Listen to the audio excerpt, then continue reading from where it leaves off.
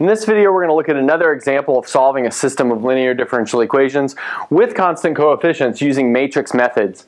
So let's just recall if we've got this system of linear differential equations, constant coefficients a, b, c, and d, we can rewrite it in matrix form as follows. So we have uh, vector function y prime equals matrix a times vector function y and it has this nice solution which mimics what would happen with a single differential equation, and that would be y equals e to the ta, this matrix exponential, which I've got a bunch of videos where I calculate that and go over the theory of how to calculate that. So this matrix exponential e to the ta times v, and v is an arbitrary vector. So in fact, that will depend on the initial conditions if we had some, but we don't in this case. So let's look in this video, we're going to look at y prime equals matrix A times y, where the matrix A is 2, 9, minus 1, minus 4. So that corresponds to the system of equations. y1 prime is 2y1 plus 9y2 and y2 prime is negative y1 minus 4y2. So since our solution will depend on this matrix exponential and the first step of finding the matrix exponential is the eigenvectors and eigenvalues, that means that's what we're going to want to do for A. And that starts off with finding the characteristic polynomial of A, which is given by the determinant of x i minus a. So in this case, that's the determinant of x minus 2 minus 9, um, x, sorry, plus 1, and then x plus 4. Okay, good. So uh, let's see what we get from there. So we're going to have um, x minus 2 times x plus 4, and then let's see, that is going to be plus 9. Okay, great. So uh, now let's see when we multiply that out, we're going to get that's equal to x squared. We'll have minus 2x plus 4x. So that's going to be plus 2x and then we're going to have minus 8 plus 9. So that's going to be x squared plus 2x plus 1, which factors to x plus 1 squared, which tells us we have a single eigenvalue of lambda equals minus 1. And then again, since we have a 2 by 2 matrix, we automatically know this is not diagonalizable, because if it were diagonalizable, it would be a multiple of the identity, but that means it would commute with everything, but that means it would have to start off as a multiple multiple of the identity. And obviously it didn't. Okay, great. So now we need to find the eigenvector that goes along with that eigenvalue. In other words, we need to look at the null space of uh, minus 1 times the identity minus a, which is the same thing as plugging in minus 1 for x into this matrix. So let's see. That's going to give us minus 3, minus 9, 1, and then let's see, that's going to give us 3. So, and that's the null space of that matrix.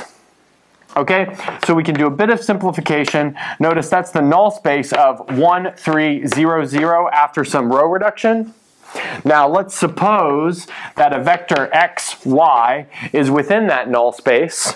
So that tells us that this uh, matrix annihilates this vector xy. So it sends it to 0, 0. But that gives us a system of equations for x and y. So we have x plus 3y equals 0, and then we have y is something we call a free variable. So x is not a free variable because it corresponds to a pivot column, but y does not correspond to a pivot column, so it is a free variable. Great. So uh, what this tells us is that x equals minus 3y, and then y is free. So we might as well uh, choose y to be equal to 1, um, which will give us an eigenvector uh, of minus 3 comma 1. Okay, good. So uh, I'll clean up the board and then we'll move on from there. Okay, so now we're in a good spot. So from the last board, we got a single eigenvector of lambda equals minus 1. I've slightly rescaled my eigenvector to be 3 minus 1, but that's okay. And then I uh, take this matrix P, which is not the diagonalizing matrix, but it's the matrix that gets our given matrix as close to diagonal as possible. So it's given by this eigenvector here and then 1, 0 here. So this is something called a generalized eigenvector, and it comes from the theory of Jordan canonical forms, which we're not going to go over here. And then P inverse is given by the following. And then from that, we can calculate e to the ta to b. So that that's going to be p so 3 minus 1, 1, 0. And then we'll have e to the minus t, t e to the minus t, 0 e to the minus t. And then we'll ha finally have p inverse, which is as follows. So again, I'm skipping some steps here, but I've got some videos where um, we go over this type of exponential where we have a single eigen um, value. Okay, great. So now if you were to multiply that out, you would get this solution for y prime. And so I'll write the solution for y prime and multiply all that out at the same time. And so what we'll get, I'll factor an e to the minus t out of the whole thing because I can. And then I'll have 1 plus 3t, a 9t here, and then minus t, and then 1 minus 3t here, and then I have c1 and c2, and those are arbitrary constants which would depend on the initial conditions.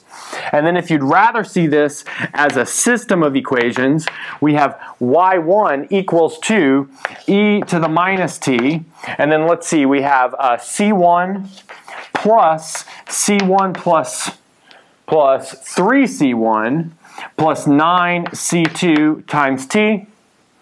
And then uh, y2 will be e to the minus t. And then let's see what we get there. We get c2 plus uh, minus c1 minus 3c2 times t. Good, and there's our solution in that form. Okay, this is the end of the video.